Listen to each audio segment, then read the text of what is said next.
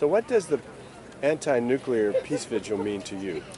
Well, there's nuclear uh, weaponry, and that uh, it doesn't discriminate whether it's military or civilian, and dropping any nuclear bomb because it won't discriminate will go beyond what war is, which is a military action. Uh, civilians shouldn't be harmed in war. Um, vegetation, animals, and all that that gets taken out from a nuclear explosion and the fallout thereof. Uh, so I want um, zero nuclear weapons left on planet Earth. We have work to do. We've been trying to do the work, and uh, Bill Clinton did disarm 10,287 nuclear warheads. Uh, we'd like others to come and disarm within their nation, but we're still left with 7,500 plus. Um, so that's until we get to zero, but not only we, the planet Earth. I want world peace. Um, I might not get it in my time, and but the nuclear issue, I want that taken care of, and um, maybe that'll help with world peace.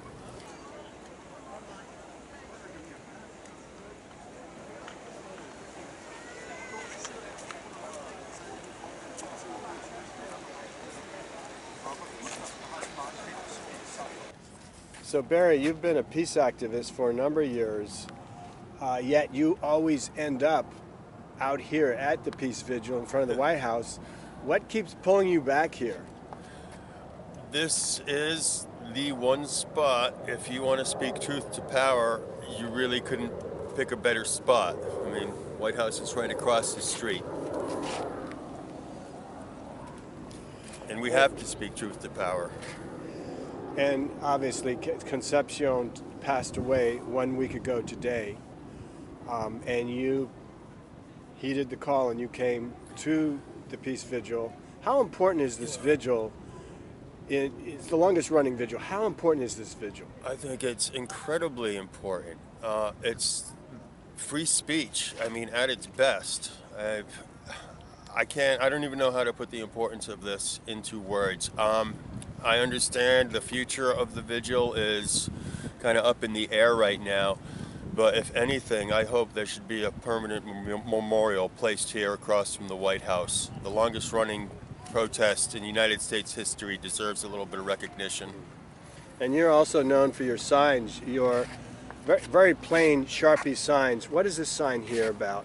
Uh, that's a quote from Noam, Ch- Noam Chomsky, and it says, Everybody is worried about stopping terrorism. Well, there's a real easy way stop participating in it.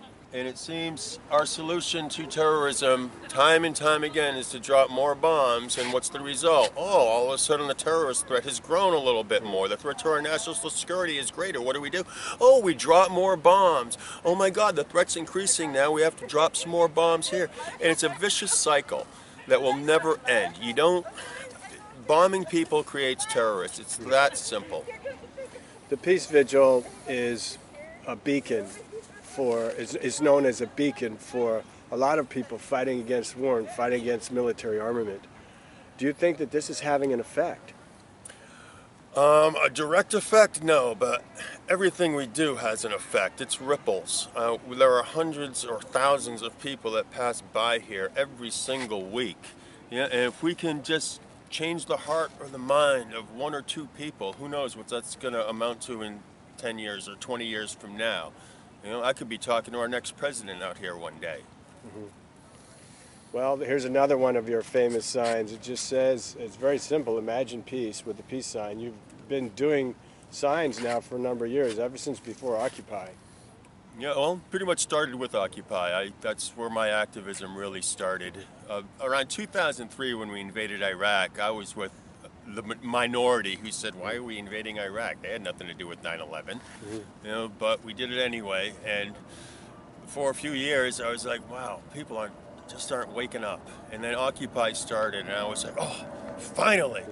And then, of course, we know what happened to Occupy, and I don't want to talk about them in the past tense, but of course, the camps were all moved, and everyone went home. Things got quiet a little bit, and I know a lot of people that might read your stuff may not agree with me here, but I do feel that Bernie Sanders is taking the same message that Occupy gave voice to and is putting it in, into action. Is he a messiah? Is he the end all be all? Absolutely not, and he'll be the first one to admit it. He's one person, and it's not going to matter who you put in the White House without a political revolution, which is what he's calling for, getting millions of people involved and engaged in the political process again rather than just letting Bank of America and Walmart and Boeing and Goldman Sachs basically have all the influence over our elected officials. It's time they work for us again, and I really like Bernie. I believe his integrity in that regard. He works for us, not for the moneyed interests, and that's what we need right now. Okay, Barry. Well, thanks for your comments, um, and we hope that the peace vigil will be kept going by folks like you. What would you tell people out there that may want to be interested, who may be interested in participating or volunteering some time for this? What would you tell them? Um, I would tell them to come down and talk to Philipos. He's been spending the majority of the time here watching it because I just came down after I find, found out Connie had passed away. So I, I had actually been away for about a year. So I would talk to somebody that's been here throughout the duration. Thanks, Barry. Thank you. Is that okay? I know you won't cut all the Bernie stuff, right? Uh, no, not necessarily. He's not.